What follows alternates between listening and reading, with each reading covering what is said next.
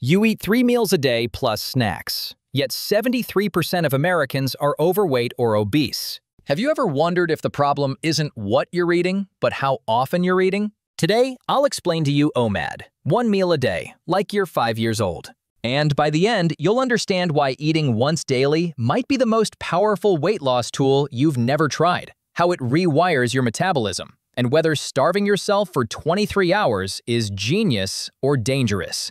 OMAD is exactly what it sounds like, eating all your daily calories in a single meal, then fasting for the remaining 23 hours. It's not about eating less food. It's about compressing your eating window into one hour.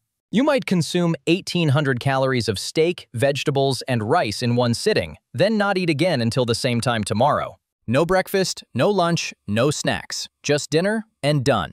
This isn't a new fad invented by Instagram influencers. Humans evolved eating sporadically, hunting, gathering, feasting when food was available, then going days without eating. Our ancestors didn't have refrigerators or drive-thrus. They ate when they caught something or found it, which might have been once every day or two.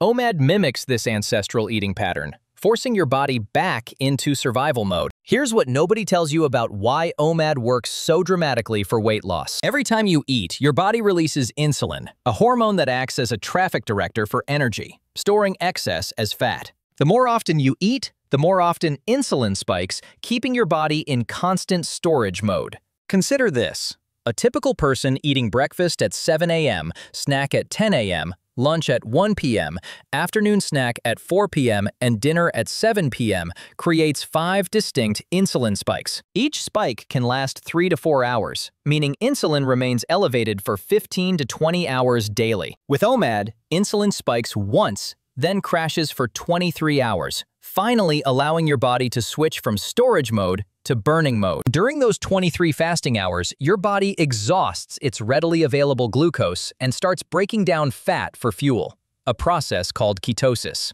Your liver converts stored fat into ketones, molecules your brain and muscles can use for energy. It's like your body has two fuel tanks, glucose and fat. Most people constantly refill the glucose tank by eating every few hours, so they never tap into the fat reserves. The glucose tank holds roughly 1,600 to 2,000 calories worth of energy stored in your liver and muscles as glycogen. Once depleted, which takes 12 to 16 hours of fasting, your body must access the fat tank, which can hold 100,000 plus calories even in lean individuals. OMAD forces you to drain the glucose tank completely, making fat burning mandatory, not optional. Your glucose levels tell the real story. When you eat three meals plus snacks, your blood sugar resembles a roller coaster, spiking after meals, crashing before the next one, spiking again. Each spike triggers insulin release. Each crash triggers hunger. You're trapped in a cycle of eating to stabilize blood sugar, which destabilizes it further. A typical person's blood glucose might swing from 70 milligrams per deciliter when hungry to 140 milligrams per deciliter after meals, creating a 70-point swing multiple times daily. OMAD flattens this roller coaster into gentle hills. One meal creates one glucose spike, followed by a steady, controlled decline that your body adapts to handle smoothly. OMAD doesn't just change when you burn fat. It changes how efficiently you burn it. After several weeks of OMAD, your body becomes metabolically flexible, switching between glucose and fat burning like a hybrid car switches between gas and electric. Your cells develop more mitochondria, the cellular powerhouses that convert fuel to energy. Studies show that intermittent fasting can increase mitochondrial biogenesis by 20 to 40%, meaning you literally grow more cellular engines. You literally become a more efficient fat-burning machine at the cellular level. The insulin response is where OMAD shows its true power. People eating standard diets might spike insulin 6 to 8 times daily, breakfast, snack, lunch, snack, dinner, dessert. Each spike can last 2 to 4 hours, meaning insulin is elevated most of the day. Here's the crucial part. Insulin doesn't just promote fat storage. It actively blocks fat burning by inhibiting hormone-sensitive lipase, the enzyme that breaks down stored fat. It's like having the accelerator and brake pressed simultaneously. Chronically high insulin doesn't just promote fat storage, it makes fat burning nearly impossible. Your body can't access stored fat while insulin is telling it to store more. OMAD gives you 20 plus hours of low insulin, creating the hormonal environment where fat burning thrives. Weight loss on OMAD often happens faster than people expect because you're fighting physics, not just willpower. Creating a caloric deficit, burning more calories than you consume, is still required for weight loss. But OMAD makes that deficit easier to achieve without conscious restriction. Most people struggle to eat 2,000 plus calories in one sitting, especially if that meal includes protein and fiber. Your stomach can physically stretch to hold about 1.5 liters comfortably, roughly the size of a large water bottle. Cramming a full day's calories into that space becomes mechanically challenging. You naturally eat less because your stomach has physical limits, and protein triggers satiety hormones like GLP-1 and CCK that keep you full longer. OMAD practitioners often report losing 1 to 3 pounds per week without counting calories or restricting food types. They're not eating diet foods or tiny portions. They're eating normal meals, just once daily. Take Sarah, a 35-year-old teacher who lost 45 pounds in six months on OMAD while eating pizza, burgers, and ice cream for dinner. Her secret wasn't food restriction, it was time restriction. By compressing eating into one hour, they've hacked their metabolism to prioritize fat burning for 95% of each day. The hunger adaptation surprises most people. The first week feels brutal. Constant thoughts about food, energy crashes, irritability. Your body produces ghrelin, the hunger hormone, based on learned meal patterns. If you've eaten breakfast at 8 a.m. for 20 years, your stomach will growl at 8 a.m. whether you're hungry or not. But around day 10 to 14, something shifts. Ghrelin production adapts to your new eating schedule, stops spiking at traditional meal times. Your body stops expecting food every few hours and starts expecting it once daily. Many OMAD veterans report forgetting to eat because hunger becomes so mild and infrequent. Mental clarity is an unexpected benefit that keeps people committed. During fasting periods, your brain runs on ketones instead of glucose. Ketones provide steadier energy than glucose, eliminating the brain fog that comes with blood sugar swings. Glucose burns like newspaper, hot and fast, while ketones burn like hardwood, cool and steady. Your brain prefers this consistent fuel source. Many report feeling sharper, more focused, and more productive during fasting hours. Your brain isn't constantly processing the digestive demands of frequent meals, freeing up energy for cognitive tasks. OMAD's benefits extend beyond weight loss into longevity and disease prevention.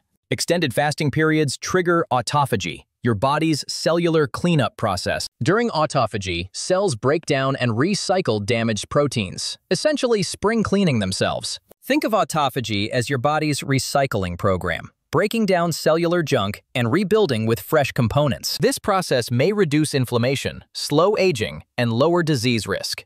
Nobel Prize winner Yoshinori Ohsumi discovered that autophagy peaks after 16 to 24 hours of fasting, Exactly OMAD's time frame. The practical advantages make OMAD sustainable for busy people. Meal planning becomes simple. Plan one meal instead of three. Grocery shopping takes minutes, not hours. Food costs drop dramatically when you're buying one-third the meals. You save time, not preparing, eating, and cleaning up after multiple meals. Some calculate saving 10 to 15 hours per week previously spent on food-related activities. However, OMAD isn't magic. It's a tool with limitations and risks. Eating 2,000 calories in one sitting can cause digestive distress, especially initially. Some people experience acid reflux, bloating, or stomach pain from large meals. Your digestive system produces enzymes and stomach acid based on expected meal sizes. Suddenly dumping a day's worth of food into your system overwhelms these mechanisms. Starting with a 16-8 or 18-6 eating window and gradually reducing to OMAD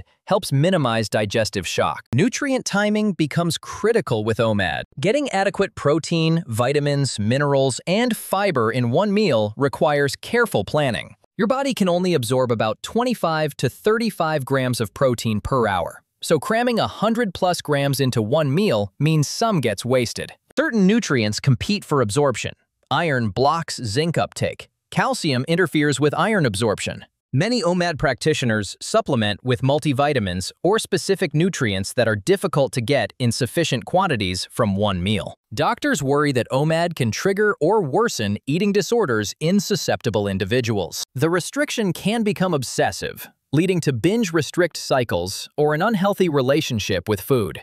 People with histories of eating disorders, diabetes, or other medical conditions should consult healthcare providers before attempting OMAD. Pregnant women, children, and elderly individuals should avoid OMAD entirely. Social challenges often derail OMAD attempts. American culture revolves around food. Business lunches, family dinners, social gatherings. Explaining why you're not eating at 7 p.m. dinner parties gets awkward. Some people adjust their eating window based on social obligations, eating lunch some days and dinner others, which reduces OMAD's metabolic benefits but maintains social connections. Energy levels vary dramatically between individuals on OMAD. Some report sustained energy throughout fasting periods, while others experience afternoon crashes or workout performance declines. Athletes and people with physically demanding jobs often struggle with OMAD because their energy demands don't align well with once-daily refueling. The research on OMAD specifically is limited, but studies on intermittent fasting show promising results for weight loss, insulin sensitivity, and metabolic health. However, most studies lasted 8 to 24 weeks, so long-term effects remain unclear.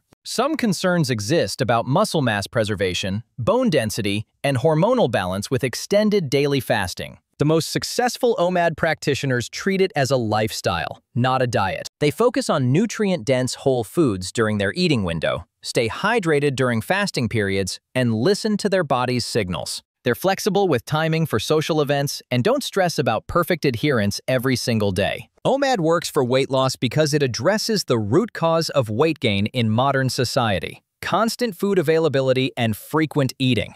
By returning to a more ancestral eating pattern, you're working with your biology instead of against it. The question isn't whether OMAD can work. It's whether you can handle eating everything you need in one hour and fasting for the other 23. So, could you realistically eat your entire day's worth of food in one sitting and not eat again for 23 hours? Or would you crack and raid the kitchen at 2 a.m.?